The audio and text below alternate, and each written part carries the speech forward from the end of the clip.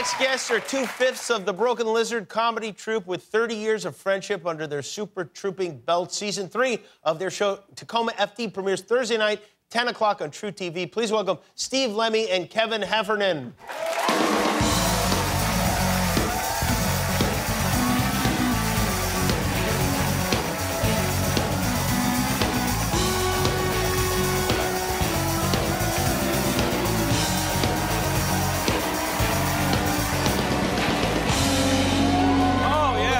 Guys all dressed up and I everything. know, this is crazy. I don't wear ties anymore, man.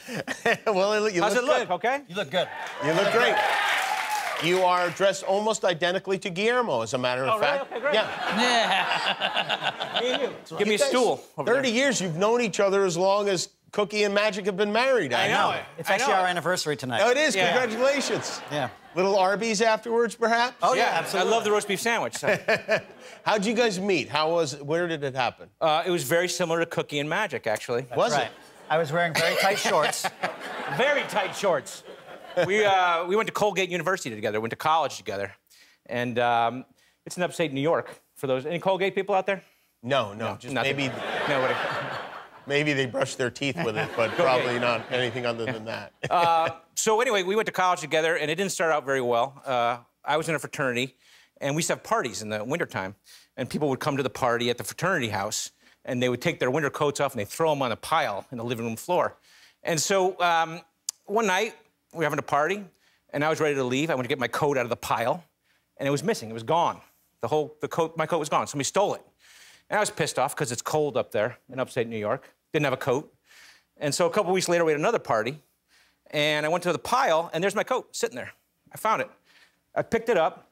I reached in the pocket, and the idiot who stole my coat had left his college ID in the coat pocket, and I looked at it and it said Stephen Carlos Lemme.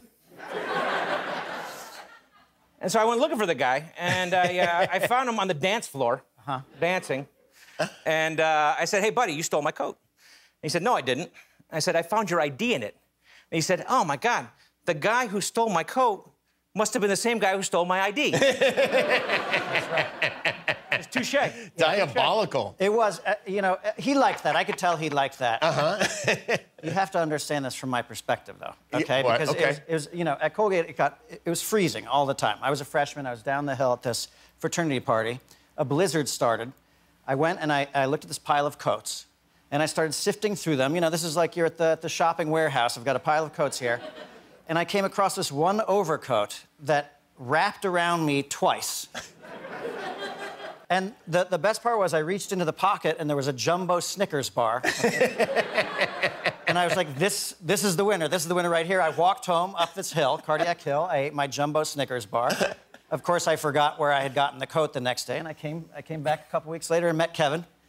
And he hated me. Uh huh. Well, yeah, sure. Then we went to Arby's. Yeah, and you went to Arby's, yeah. Uh, It's, it- but it seems unwise to pick the coat of the biggest guy at the party. I mean, it seems like that just is just inherently a bad decision. That You mean because he was going to kick my ass? Eh, yes, presumably. that type. Except, like I said, it wrapped around me twice. Yeah. Like uh, it was, uh, it was the warmest thing I had ever tried on in my life.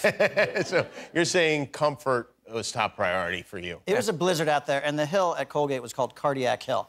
So I had to, I had to insulate myself. I see. All right, all right, very good. Now you guys are doing this show. Uh, I used to live in Seattle. In fact, I lived in Tacoma for a short. Oh, you did? Yeah. time. Okay. Up in Tacoma, you're um, you, Tacoma FD. Why did you pick Tacoma for the site of the, uh, the show? Well, we, you know, we a few years back we made a movie called Super Troopers. Right. Yes. And, uh, everybody loves. Thank you. Yeah. And you know, the premise of the movie was about cops who are in a remote area mm-hmm. and have time on their hands so they can screw around. You know, so we were making this firefighter show. We were trying to think of what the equivalent of that was, and to us it was let's set it in the rainiest city in America. Mm-hmm. And then the firefighters would have time to screw around. Mm-hmm. Yeah, it makes sense. Which makes sense, but the Tacoma Fire Department, they were pissed off about Oh, it. they were really. Yeah, the real guys were pissed off about it. Were they mad once they saw the show, or they were mad? They liked it, but I, I, at the time they had heard about it, and we were doing a stand-up show in Seattle, and we're sitting backstage, and the owner of the club came out and said, came back to us and said, "Hey, there's a bunch of Tacoma firefighters here, and they want to talk to you, and it's not like a good thing, you know." and so we're like, "Oh man!" So we went out after the show, and they said to us, "You know, hey, we work really hard here in Tacoma. We're the hardest working fire department, and we don't appreciate you guys, you know, presenting us that way. And we said, okay, well, I'll tell you what, we'll, we'll do a good job and we'll represent you well. And then the guy said, by the way, and he pulled out a business card. He said, I also do technical consulting for fi- film and TV. So, And by the thanks, way, and while we're on the by the ways, how hard could they be working if they decided to show up in force at a comedy, comedy club show. in That's the right. I know place? it. So, um, so they like it now. You're they like okay. it. We're friends with them. They send us uh, all kinds. Of, they send us an axe. Oh, they did. Yeah. A, a bejazzled axe. Well, you, that wasn't a threat. That was a gift. No. It was a gift. Okay. It was a gift. yeah. Apparently, you can mail an axe these days. So. They, they, but firefighters do, in my experience, I've been to some fire stations, have a lot of free time. They definitely do, and it's not just fires that they're they're dealing with. They have to kind of do like whatever weird calls come in, they have to take care of them. Oh yeah. No, I mean I think you know, like like like firefighters are kind of a catch-all. Yeah. For, for everything, like of course they fight fires and you know car accidents. They're they're there, but they also have to deal with whatever other non-criminal call uh, that comes across. For instance, like when we were interviewing firefighters for our show and asking them about stories, the one common thing was how many uh, guys they have to rescue who have gotten their penises stuck in things. This happens a lot. Uh, It happens a lot, and especially Apparently all the time. especially on full moons. On full moons, What? Full moon, penis stuck and stuff. Is that true on full moons? This happens more often. Apparently, that's what they said to us. Really? Yeah, yeah, yeah. yeah. And we and we ask firefighters. We're like, is the is the penis thing true? They're like, oh yeah, oh yeah, absolutely. And then we're they go through a laundry list. They go through. They go wedding ring. People get stuck in the wedding ring. What? How Yeah. romantic. A soda bottle. You know, they just kind of go through this whole list of all the crazy stuff.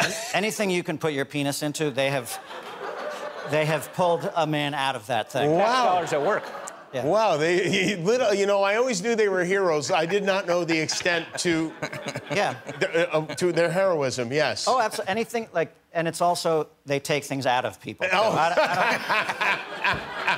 I don't- It's the circle of life in a right. way. that's right. Well, I'm sure they're honored to have you representing them. Yeah. Well, thanks for coming. The show is called Tacoma FD. Season three premieres on Thursday at uh, 10 o'clock on truTV. Steve and Kevin, everybody, thank you, gentlemen. We'll be back with the Marias. Hi, I'm Jimmy Kimmel. Click below to subscribe to our YouTube channel, or if you want to be that way about it, don't.